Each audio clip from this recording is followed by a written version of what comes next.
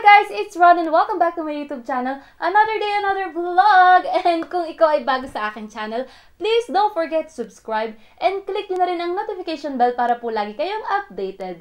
And for today's video, guys, isi-share ko sa inyo ang sikreto ko kung paano ko ba napaputi ang aking kilikili. Yes! So, kung interested kang malaman, please keep on watching.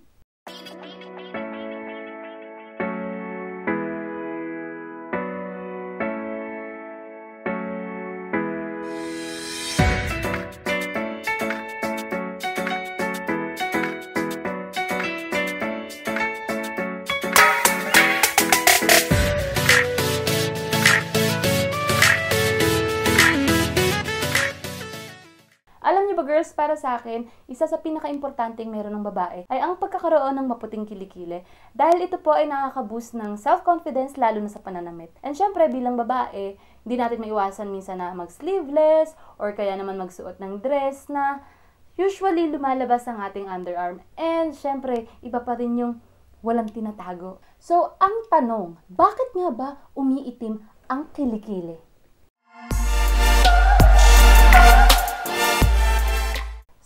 Guys, disclaimer lang, hindi po ako eksperto pagdating sa ganitong issue, pero lahat po ng isi-share ko sa inyo ay based sa aking na-research and also sa sarili ko na ring experience kung bakit ba umiitim yung ating kilikili, okay? Number one, paggamit ng harsh deodorant.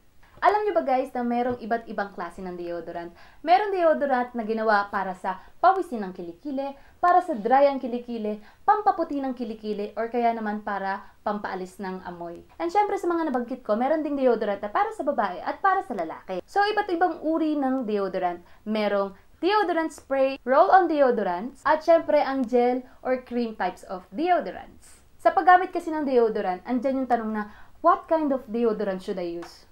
Well, choosing the best deodorant is easy. For example, ikaw ay ang tipo ng tao na sobrang pawisin. So, pwede kang gumamit ng mga antiperspirant products. At syempre, dahil magkakaiba tayo ng skin type or kaya naman ng pangangatawan, much better din na kumonsulta kayo sa inyong doktor or kaya naman mag-search kayo kung ano ba yung nababagay na deodorant para sa inyong kondisyon. Number two, shaving. Alam niyo ba guys na ang pag-shave ng kilikili ay nakakaitim dahil po ang skin natin sa kilikili ay manipis lang at saka very sensitive. So, imagine kung aahitin niyo yun ng ganun katalas yung gamit yung pang-shave. Siyempre, mangingitim talaga yun, di ba? So, sabi din ng iba, nakakaitim din daw yung pagbubunot. Pero yung pagbubunot ng buhok sa kilikili, I think more on magiging parang chicken skin ang inyong kilikili. Ganon. Meron din ako. Number 3. Pagsusuot ng masisikip na damit. Alam niyo ba guys na kapag masikip ang suot nyo, may possibility talagang mangitim ang kilikili nyo dahil just imagine, libawa ito, sobrang sikip na ganyan. Tapos syempre nagkikis-kis-kis-kis. So yun yung cause kaya nangingitim ang kilikili nyo. At the same time, hindi rin makahinga yung kilikili nyo, earn. And especially kapag ka ang tela na gamit nyo ay mainit. Yung halimbawa, yung klase ng jersey, if familiar kayo, syempre familiar kayo doon. Pag ganun yung klase ng suot yung damit, tapos syempre sobrang init, tapos nagpapawis kayo, tapos nagkikis-kis pa. Parang sa pants natin, parang sa singit, kapag masikip yung suot nyo, tapos nagkikis-kis pa ganun. Di ba nangingitim yung singit? So, ganun din yung sa kilikili. Okay? Number four, hereditary or namamana. Kasi guys, syempre, hindi naman tayo lahat ay pinagkalooban ng maputing kilikili. Meron talaga na sa lolo nila, sa lola nila, sa ninuno o kung saan man, lahi na nila yung ganon. Huwag kayong mag-alala guys, kasi kung namanan nyo lang naman yan, okay lang dahil lahat naman ng problema may solusyon. A few moments later. So, eto na nga ang product na ginamit ko kung bakit pumuti ang kilikili ko. Uunahin ko na dyan ang sabon. Naging bakla bigla. Taran! Ayan. Eto po ang ginagamit kong sabon at in fairness naman dito talaga sa sabong ito, binigyan niya ng milagro ang aking buhay. Pinakulay niya ang madilim na kaanyuan ng aking katawan. Gano'n earn. So, ito po ay Koji-san Skin Lightening Soap. Ayan, hindi lang kilikili ko ang napaputi nito, maging ang kaibutura ng aking balat. Yes, ito po ay mabibili nyo sa drugstore, supermarket, Watson's, palengke, um, Mercury, at kung saan-saan pa naglipa na ito. So, sobrang sikat ito. Ewan kung hindi nyo pa ba ito alam. Hindi nyo pa ba ito alam? Maganda to guys. Sobrang ganda nito. Miracle Soap. Ay, este. Koji-san Soap. Ayan.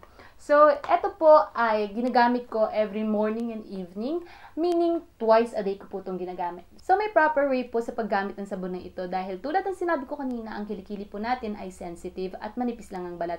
So, since medyo matapang ang sabon na ito, kailangan hindi nyo siya ibabad ng matagal. So, ang routine ko, pagkagising ko, ang ginagawa ko is naghihinaw ako ng katawan or kaya naman naliligo ng umaga, ganyan.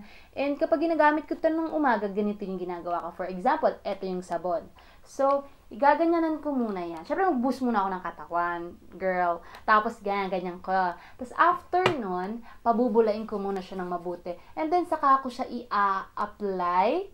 And then, after nyan, sa kabila naman, syempre, tapos, ibababad ko to ng mga 3 minutes up to 5 minutes kapag kasinisipag ako. Ganon. Pero, up to 5 minutes lang. Huwag nyo nang ilampas doon. Kasi, kapag nilampas nyo doon, medyo parang mahapde. Ganon. Or kaya naman kapag ka, sobrang sensitive ng skin nyo, pag may napifeel kayo na tuturok-turok, kahit halimbawa 2 minutes pa lang, anlawan nyo na gonna earn. Okay? So, yun lang ang process ko kapag umaga. Bago ako maghinaw or maligo sa gabi, naglalagay muna ako ng Johnson Baby Oil. Yung color green po ang gamit ko. Dahil ito ay merong aloe vera and vitamin E. Mahalaga kasi na ang ginagamit natin sa skin natin ay may vitamin E.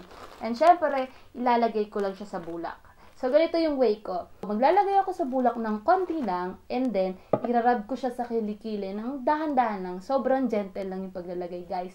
Huwag niyong irarab ng madiin, something like that. Huwag yon iwasan niyo yun dahil nakakaitim ng hilikili.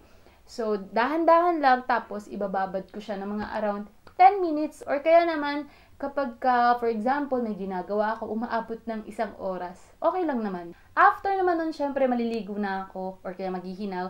And again, gagamitin ko ulit itong Koji Sun Soap. So, same process lang. Ilalagay ko muna sa aking kamay, pabubulain, and then ibababad ko sa kilikili ko ng tatlong minuto hanggang limang minuto. After ko pong maligo, ang ginagawa ko is pinapatuyo ko muna na as in dry yung aking kilikili. And then, mag-a-apply na ako nitong Koji Sun Dream White anti-aging facial toner. Pero sa kilikili ko siya ginagamit. Minsan sa mukha, pero most of the time sa kilikili lang talaga. Ayan. Kung wala naman kayong ganito, kasi medyo pricey din siya, pwede rin kayong gumamit ng uh, Eskinol Classic White. Yes.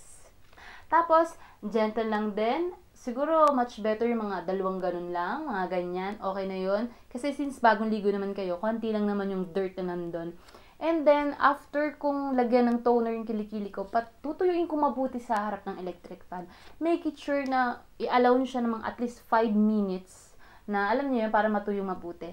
Then, after that, eto naman yung susunod ko. Pag feel na feel ko na talaga na na-absorb na ng skin ko or ng kilikili ko yung toner ko, next naman na nilalagay ko ay itong calamansi. Yes, naglalagay po ako ng calamansi every night. Or kaya naman pag nakalimutan ko ng gabi or kaya halimbawa naubusan ako, ginagawa ko siya ng morning. So, ang gagawin ko dito, avoid nyo po, ito yung mali sa ginagawa ng iba. Avoid nyo po na yung mismong balat ng kalamansi, for example, hiniwa mo na siya. Then, siya yung kusa mo, yun yung igaganon mo. Yun yung i-avoid nyo kasi nararab pa rin yung skin natin sa kilikili, which is hindi nga maganda. So, ginagawa ko, hinahati ko siya sa dalawa. Tapos, pipigain ko sa aking kamay. Tapos, halimbawa, ito na yung kalamansi. Siyempre, alisin natin yung buto. Ayan. Tapos, gaganto natin. Ayan. After nyan, idadab-dab-dab mo lang po. Ayan. Ganyan lang. Ganyan lang yung paglalagay ng kalamansi sa kilikili. Iwasan natin yung ginagalan kasi ang kalamansi medyo matapang din yan. So, nakakanipis lalo siya ng balat. So, mas maganda yung dab-dab-dab lang. Ayun. And then, ang gagawin ko, ito yung matagal na part sa kanya, yung pagpapatuyo ng kalamansi sa kilikili. So, ang gagawin ko, itatapat ko siya sa electric pan. Siguro umaabot ako ng mga 8 to 10 minutes sa pagpapatuyo ng kalamansi sa aking kilikili. Ganyan. And after ko naman maglagay ng kalamansi, at kapag sure na sure na ako na talagang sobrang dry na siya at na-absorb na siya ng skin ko, ang sinusunod ko naman ay itong cucumber gel. Pwede rin yung aloe vera gel. If meron kayo, mas maganda. Pero kung wala, tulad ko, lagi ako nauubusan. So, eto lang yung meron ako. So, eto yung ginagamit ko. Pero optional lang siya. Pwede namang hanggang dun lang sa kalamansi and then tapos na yung routine nyo. Pero ako kasi, meron akong chicken skin dahil nga nagbubunot din ako ng kilikili before. So, eto, nakakatulong siya to smoothen your skin. Alam niyo yun, uh, nami-minimize niya yung pores sa inyong kilikili. So, gumagamit ako talaga nito. Sobrang favorite ko tong product na to. And ang ganda.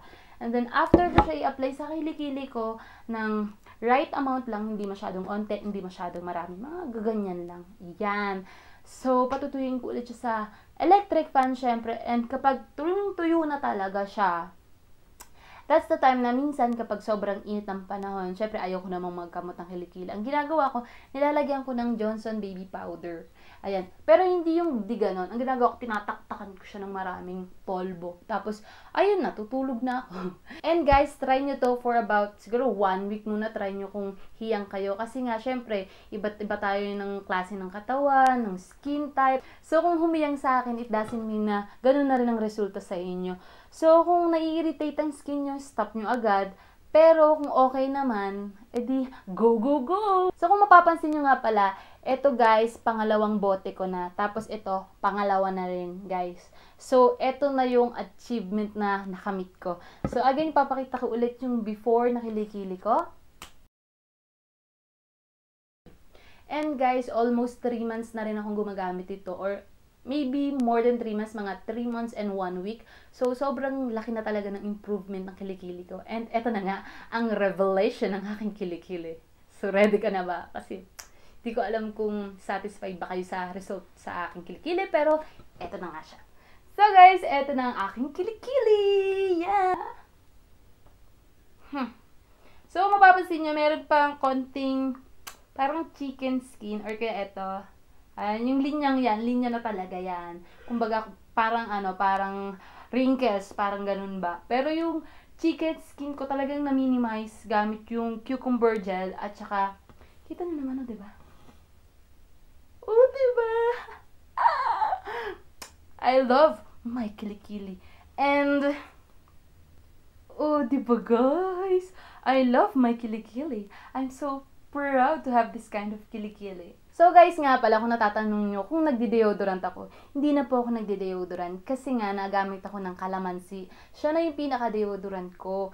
And then, kung nabubunot ba ako or nagsishave pa rin pa ako ng kilikili ko ngayon, hindi na po. Inistop ko ang pag-shave or kaya naman pagbubunot ng kilikili. Ang ginagawa ko na lang po ay yung sugar wax kung hindi kayo familiar or kaya naman hot wax na hair removal. Meron po akong DIY niyan. So ilalagay ko na lang sa description box down below. Or kaya naman sa dulo ng video to, ilalagay ko na lang din yung pinaka clip niya para i-click nyo na lang, okay? So guys, ano pang inaantay nyo? Try it for yourself para makita nyo na rin ang kaliwanagan ng inyong kilikili. And thank you so much for watching. I hope you guys enjoyed this video at sana may natutunan kayo. And if you do, please don't forget to subscribe and click the notification bell para po lagi kayong updated sa mga susunod ko pang video. And see you guys on my next video. I love you as always.